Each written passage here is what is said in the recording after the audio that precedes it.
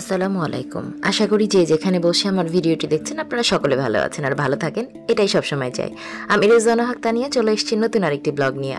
জাফলং, বাংলাদেশের সিলেটের গোয়াইনহাট উপজেলায় অন্তর্গত একটি পর্যটন স্থল জাফলং সিলেট শহর থেকে বাষট্টি কিলোমিটার উত্তর পূর্ব দিকে ভারতের মেঘালয় সীমান্ত ঘেঁষে খাসিয়া জৈন্তা পাহাড়ের পাদদেশে অবস্থিত এবং এখানে পাহাড় আর নদীর অপূর্ব সম্মিলন বলে এই এলাকা বাংলাদেশের অন্যতম একটি পর্যটন স্থল হিসেবে পরিচিত।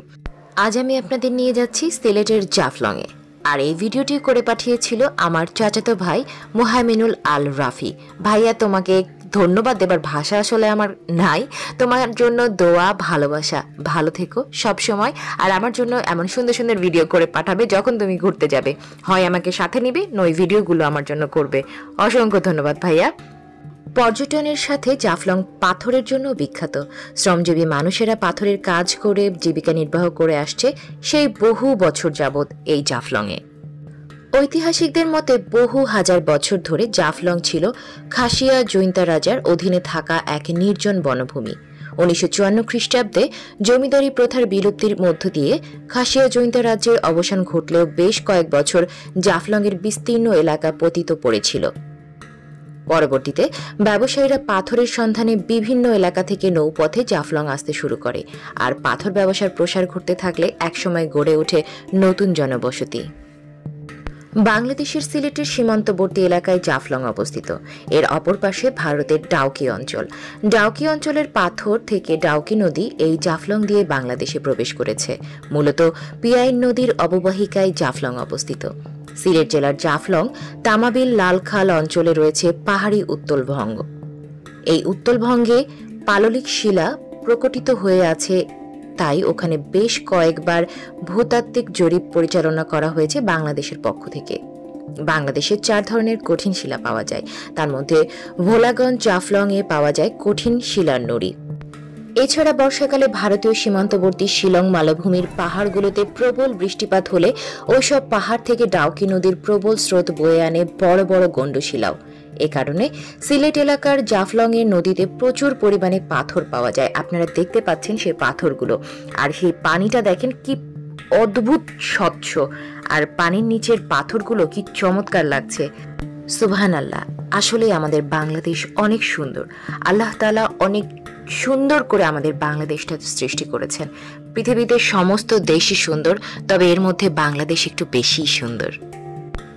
স্বচ্ছ পানির নিচে যে নড়ি পাথরগুলো আপনারা দেখতে পাচ্ছেন, এগুলো কিন্তু এই এলাকার মানুষের এক বৃহৎ অংশের জীবিকা গড়ে উঠেছে এই পাথর উত্তোলন ও তা প্রক্রিয়াজাতকরণকে ঘিরে। জাফলংয়ে এ পাথর ছাড়াও রয়েছে সাদামাটি বা চীনামাটিও। যদিও সেখানে মাটি বা বালি পরিশোধন করার মতো কোনো অবকাঠামো নেই, এই এলাকায় যেমন সাধারণ বাঙালিরা বসবাস করেন, তেমনি বাস করেন উপজাতিরাও।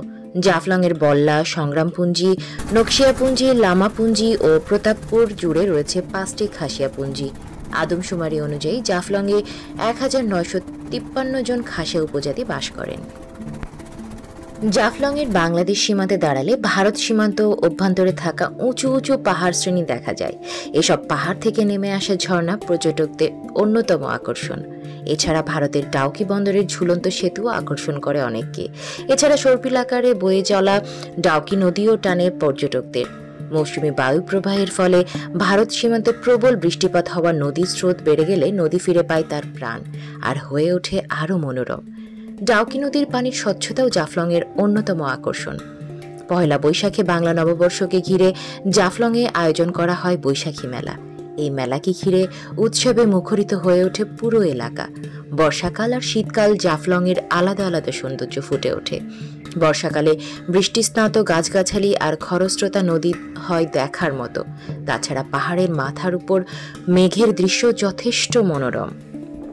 ঢাকা ও সিলেট থেকে জাফলংয়ের দূরত্ব যথাক্রমে তিনশো পনেরো কিলোমিটার ও সাত দশমিক সাত কিলোমিটার। জাফলংয়ে পৌঁছাতে হলে আপনাকে প্রথমে সিলেটে যেতে হবে। সিলেট থেকে বাস অথবা সিএনজি, অটোরিকশা যোগে সিলেট তামাবিল সড়ক ধরে আপনি জাফলংয়ে যেতে পারেন।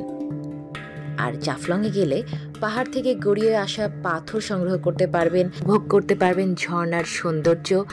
এছাড়াও আদিবাসী খাসিয়াদের জীবনযাত্রা উপভোগ করতে পারবেন। খাসিয়া রাজবাড়ি ঘুরে দেখতে পারেন, সেই সাথে মারি নদী, ডাউকি নদী এবং পিয়ার নদীতে নৌকা ভ্রমণ করতে পারবেন। আর জাফলংয়ের রেস্টুরেন্টগুলোতেও কিন্তু পেয়ে যাবেন মজার মজার খাবার। প্রকৃতিকন্যা হিসেবে সারা দেশে এক নামে পরিচিত সিলেটের জাফলং। খাসিয়া জৈন্তা পাহাড়ের পাদদেশে অবস্থিত জাফলং প্রাকৃতিক সৌন্দর্যের অপরূপ লীলাভূমি। বেআইন নদীর স্তরে স্তরে বিছানো পাথরের স্তূপ জাফলংকে করেছে আকর্ষণীয়। সীমাতের ওপারে ইন্ডিয়ান পাহাড় টিলা ডাউকি পাহাড় থেকে অবিরাম ধারার প্রবাহমান জলপ্রপাত, ঝুলন্ত ডাউকি ব্রিজ, পিয়াইন নদীর স্বচ্ছ হিমেল পানি, উঁচু পাহাড়ে গহীন অরণ্য ও শুনশান নিরাপত্তার কারণে এলাকাটি পর্যটকদের দারুণভাবে মোহবিষ্ট করেছে। এসব দৃশ্যপট দেখতে প্রতিদিনই দেশি বিদেশি পর্যটকরা ছুটে আসেন এখানে। প্রকৃতি কন্যা ছাড়াও Jaflong beauty spot, picnic spot, সৌন্দর্যের রানী এসব নামে পর্যটকদের কাছে ব্যাপকভাবে পরিচিত। আর তাই ভ্রমণ প্রিয়াসীদের কাছে জাফলং এর আকর্ষণ যেন একটু আলাদাই। তাই সময় সুযোগ করে অবশ্যই ঘুরে আসবেন জাফলং থেকে। আজকের মতো আমি বিদায় নিয়ে নিচ্ছি। সবাই ভালো থাকবেন, খুব ভালো। আবার দেখা হবে খুব তাড়াতাড়ি।